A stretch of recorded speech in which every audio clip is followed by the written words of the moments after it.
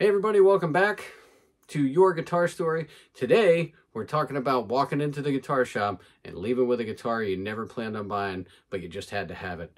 My story of this one coming up right now.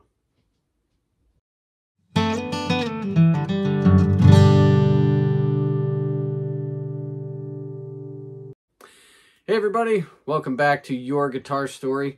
And uh, thanks again for tuning in. I appreciate it. Once again, like and subscribe, please uh, hit those notifications. You know, all the good stuff uh, helps the algorithm and helps me grow this channel so I can bring you some more stories. So today we're going to talk about that awesome feeling of walking into a guitar store and finding a guitar that you absolutely can't leave without. And today it is going to be about mine right here. This is one of those that just got me.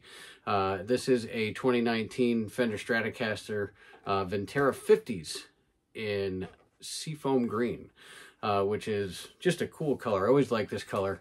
Uh, so that didn't, that did, certainly didn't hurt. That wasn't really the reason why I bought it. But, um, you know, on this channel, one of my ideas is I want to bring our stories of the things that continue to grow our uh, our love for and passion for music and guitars and stuff like that. And you know, I think you know, as I'm talking to some people and I'm putting together some stuff to do for this channel, uh, I'm really getting some some good stuff from folks. Uh, I do have some cool things coming down the line. So uh, keep keep on sharing, you know, uh, and like and subscribe and share the channel and and let's grow and let's continue to tell those guitar stories, right? So, um, but today we're going to talk about one of mine.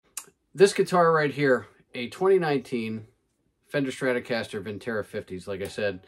Uh, they did just release the uh, new Vintera 2s, so, uh, you know, there's a couple of little different things, some different colors and whatnot. For the most part, the specs are actually quite similar uh, to this guitar. Uh, but that being said, I'll go over the specs and everything on this guitar uh, in a minute. So, but I wanted to kind of talk about the experience. So that day was really cool. And, you know, I went into the guitar store and uh, my brother-in-law came with me.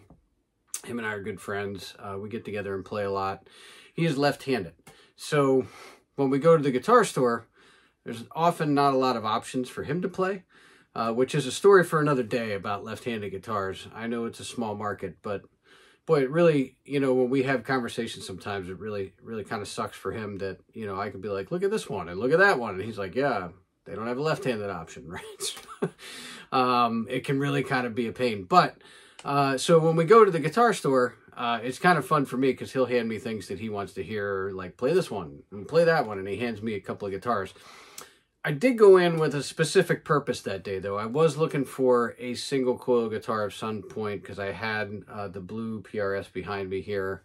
Um, I had that cheaper Squier Strat that's on the wall over there um, before I did some mods to that one, which maybe we'll get to one of these days. I don't know. At any rate, uh, so I wanted a nicer single coil guitar. It didn't have to be a Fender Strat. Uh, it was certainly in the mix. Uh, and I also, uh, I really wanted to play a Silver Sky SE. And I wanted a Silver Sky SE because, uh, honest to goodness, a $3,000 core model wasn't really in the cards either. So uh, I went in that day. I played one. The the place we went had one, and I really didn't like it. I thought it sounded nice. The pickups on that guitar sounded really well, uh, really good. They were voiced nicely.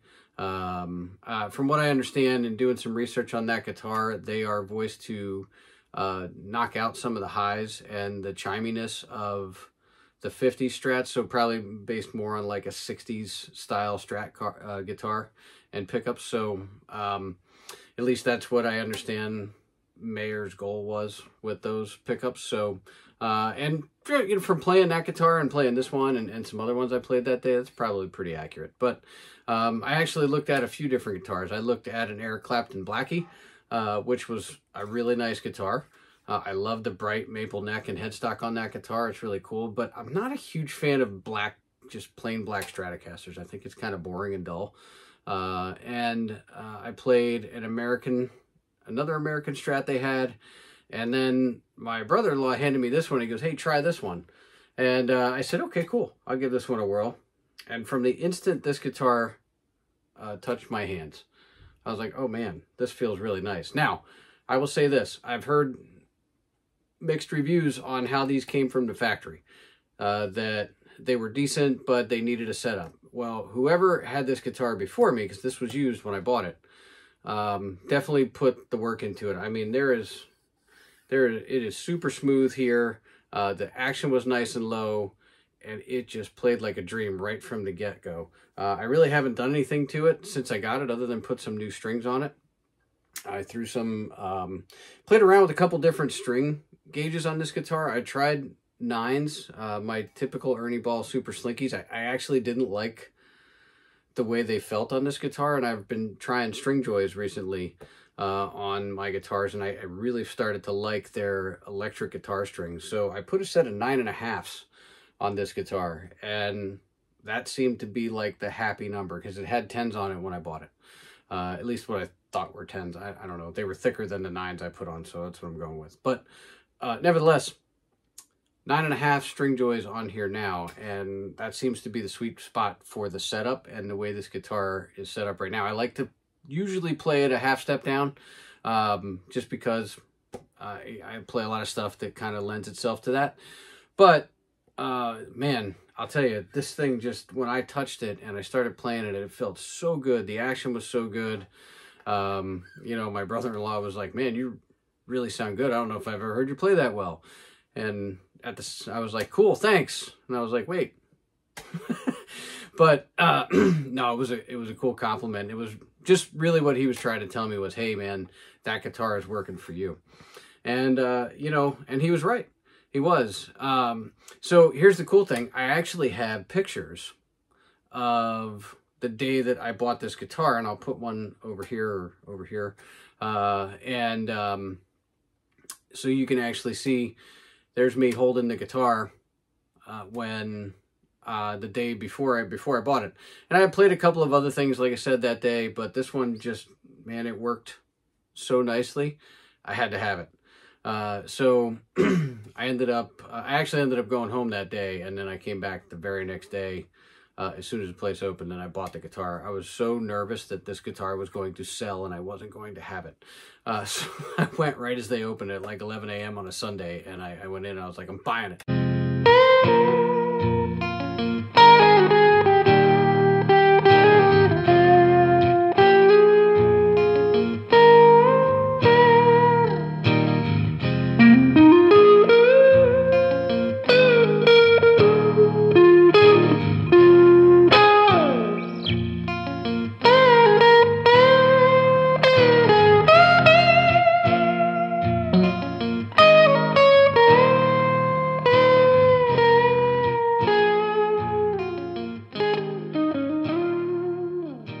All right, we're back. So uh, there's a good example of how the guitar sounds.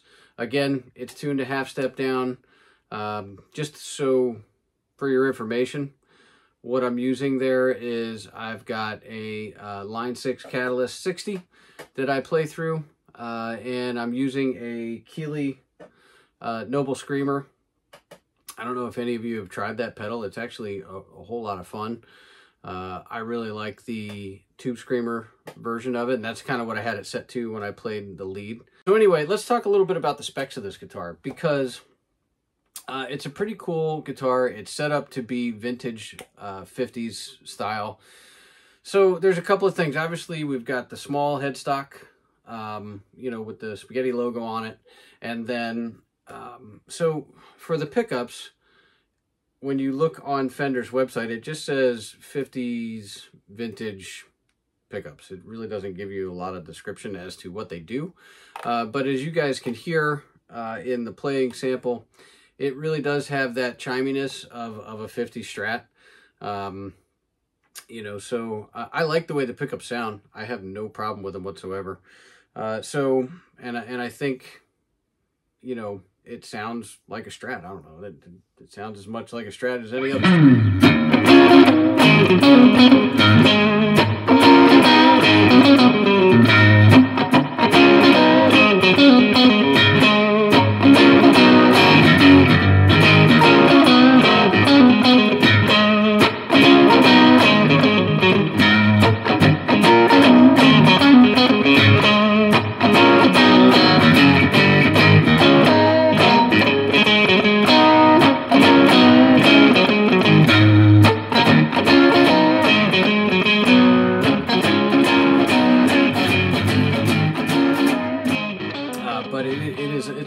guitar.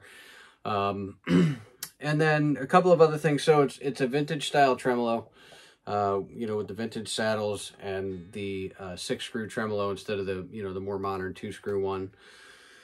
Now, there's a couple of things that I really like about the vintage stuff. One is the vintage tuners. I love these tuners with the slot where you put the string in and twist it. Those are those are my favorite Fender style tuners.